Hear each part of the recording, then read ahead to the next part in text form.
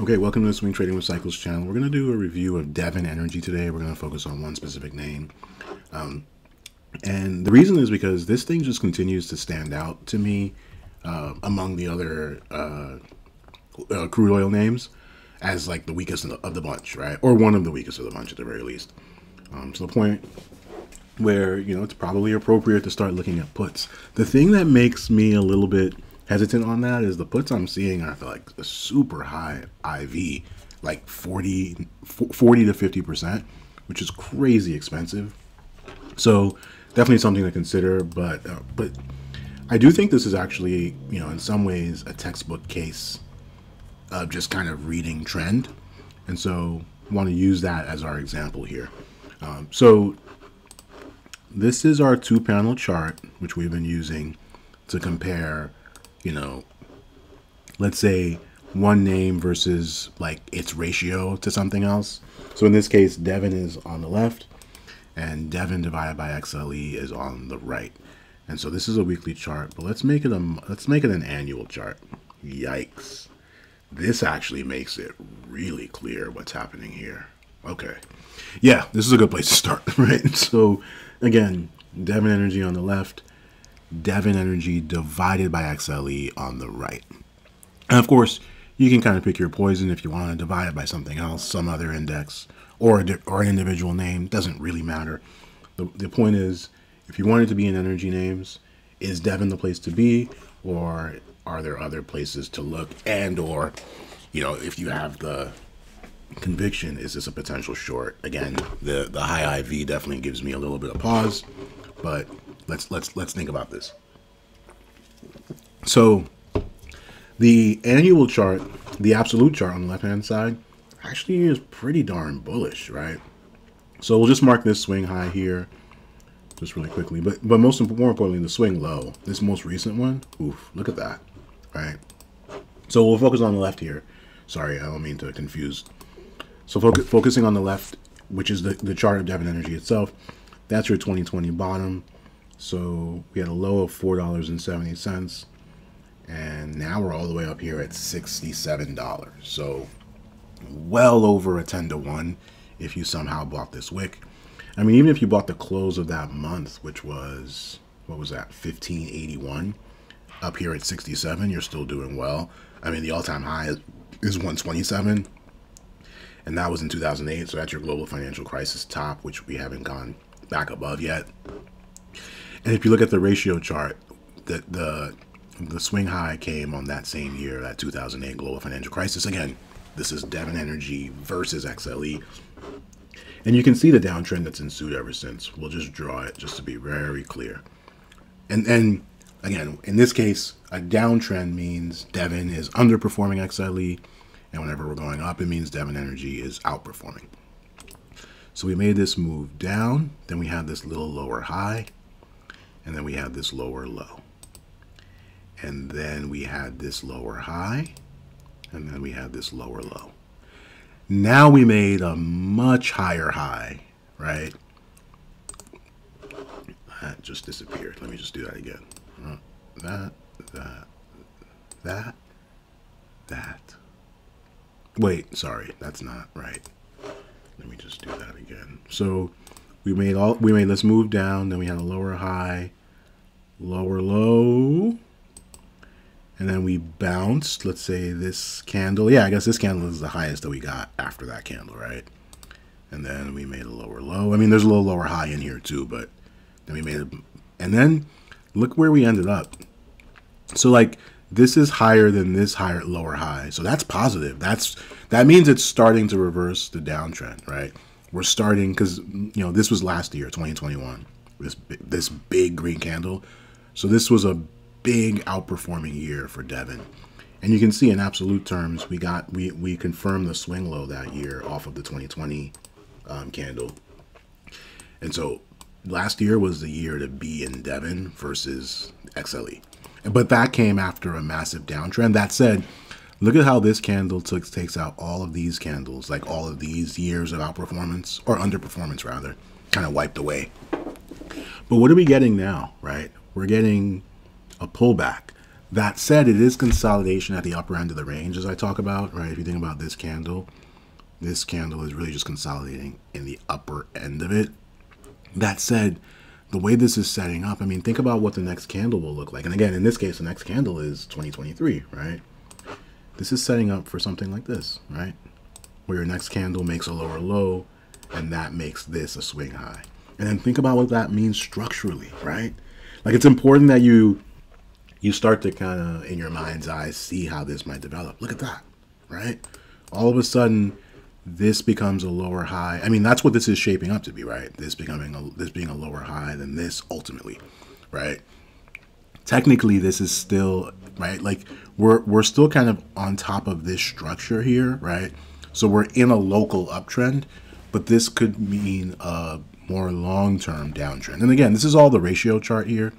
So we could still continue to rally on Devon Energy in absolute terms, but what it would mean is that you'd be better served putting your money in the index, right? Like there's no reason to take on additional risk of like single stock, right? And if we look at if we look at Devon, like the chart on in absolute terms, on the daily we're really seeing a topping pattern, like just kind of textbook in a way, right? Like I'll just draw the swing highs. So first off, we had a swing high back here. That was June of 2022.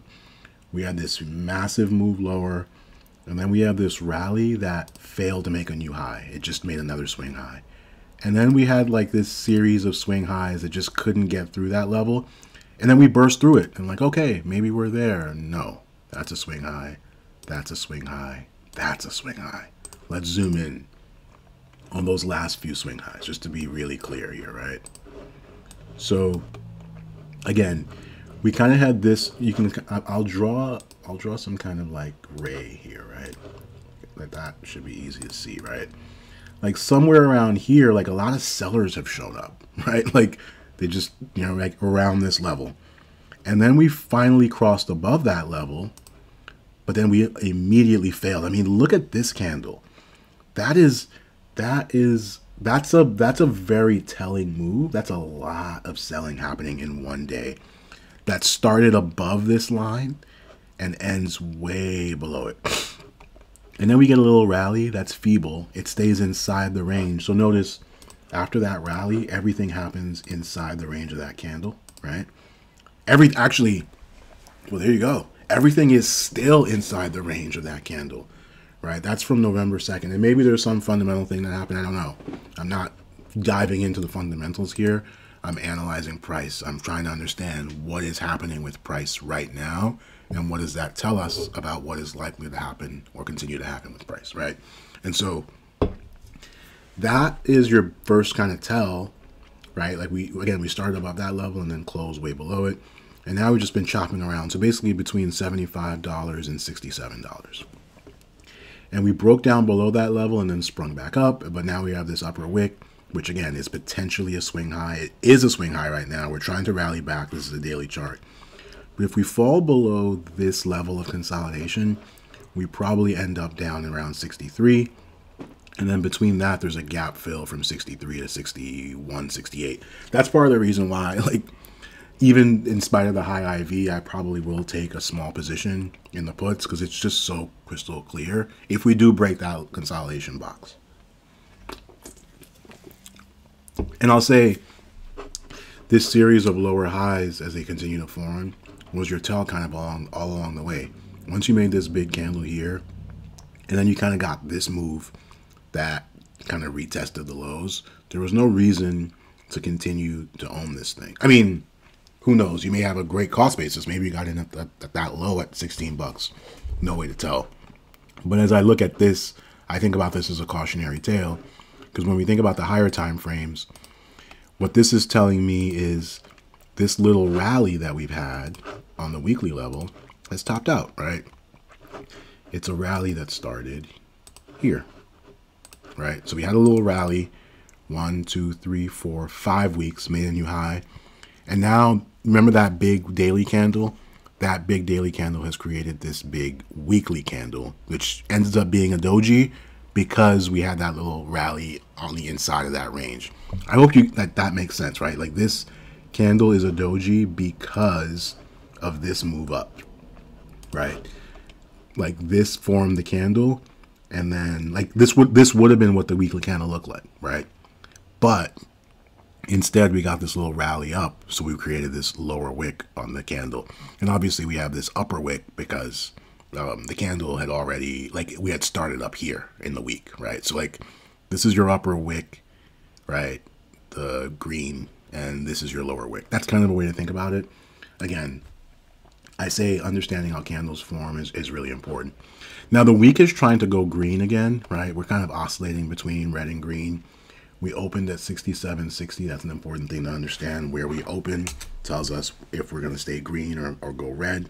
And so in this case, we are like kind of like going back and forth. Notice this pre previous week actually closed in that same kind of sort of limbo state. All of this is not a good look when you look at it on the weekly chart if we break down this consolidation box, what pivot looks like it's most likely. It's the same one we talked about on the daily, right? Around the 60. Well, we talked we looked at the 63 area, but you can see it we may get a price reaction, you know, closer to what is that? Actually, no, right, that low is six that low is 63. So that line is 63. And then maybe even all the way down and retest this pivot around 56, right? So definitely some pretty clear downside levels. And if we finally look at the monthly chart, on the one hand, this looks strong. It looks kind of like like if you if you squinted your eyes, you're like, oh, this is a bull flag. But if you pay attention to the details, we've just been kind of chopping around here, which is what a bull flag is, to be fair. But if you think about the most recent move, this is setting up for something like this as your next candle, right? Now, it may still remain a bull. Like you could say, okay, well, this whole thing is still a bull flag, but it's like, does one want to be long during this move down? Maybe not, right? Either way, we could come down and test that pivot right here and still say, okay, and that's around $48, $49.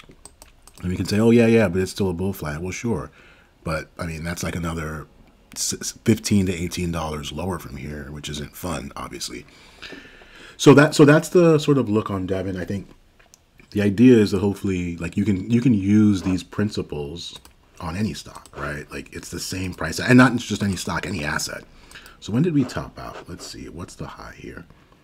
79.40. That's at 79. Yep. So it was this month, 79.40. And that is the same way that we think about the three year cycle for oil. So that's month 27. So this thing has run quite a while, right? we've already rallied for 27 months. If you think about that in the context of a three year cycle, right? So that means this is month 28, 29, 30, 31, 32. So we're getting probably close to where we might get a low. That, that's interesting, right? So this one might be leading the other ones lower. And this might actually, like, this is essentially following oil lower faster than the XLE itself. Like per that, I, I have a separate video that kind of talks about that. But this could just be our move into the three-year cycle low. And so, you know, maybe it doesn't get much uglier than like 45, 49 um, in that area. Um, but either way, near term and all signs point do point to lower. And you can see we're oscillating green back on this daily. Um, but again, it's all about this consolidation box here, and I suspect we're going to break break break it down, right? So that's a move below, call it 66, 68, and that takes you to 63. So that's like another five dollars, and then you have like a potential gap fill. So you're probably looking like more like seven dollars. So you can easily get a nice spread on calls for sure. So we'll leave it there. That's our uh, analysis of Devon. Quite bearish, I would say.